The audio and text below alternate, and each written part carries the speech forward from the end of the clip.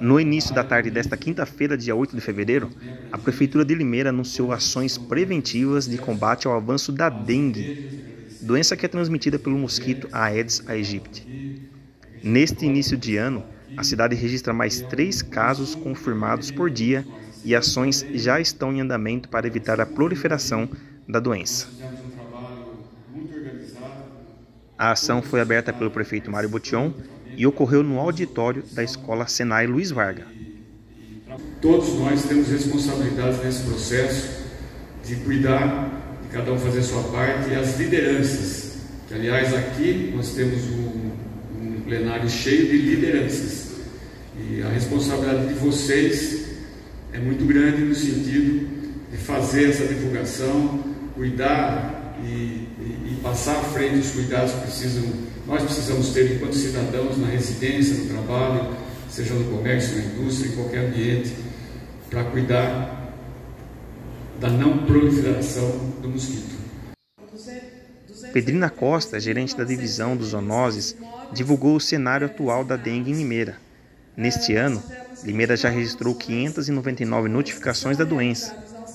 Destes, 125 foram confirmadas e outras 144 descartadas. Há 360 pessoas aguardando resultados. Limeira não registra óbitos. O último foi em 2015. Uh, ah, nós tivemos 29 edições de mutirões que são realizados aos sábados. Então, o trabalho da dengue é realizado de segunda a sábado. Segunda a sexta, nós temos as ações de prevenção, as ações de controle. E aos sábados, nós fazemos intensificação em áreas onde tem um grande número de suspeitos ou áreas que apresentam um grande número de imóveis fechados.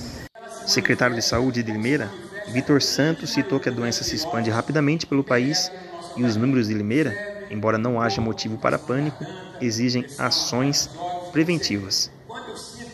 O secretário também deu orientações gerais à população de como identificar a dengue e como proceder em caso de suspeitas.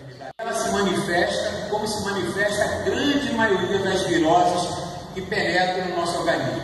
Febre, dor no corpo, irritação na garganta, pressão atrás dos olhos, ou seja, quando eu sinto esses sintomas, eu posso imaginar uma gama de doenças.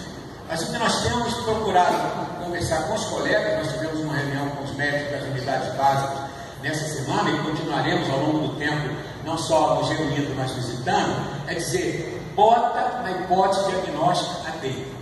Não vamos esperar 4, 5, 6, 7 dias para ter uma confirmação do exame para pensar. Por quê? Porque as medidas são extremamente simples. Repouso, alimentação leve, hidratação, que é fundamental, e sintomáticos. Né? Medicamento para diminuir a febre, diminuir a dor, com uma restrição absoluta que é o uso de aspirina.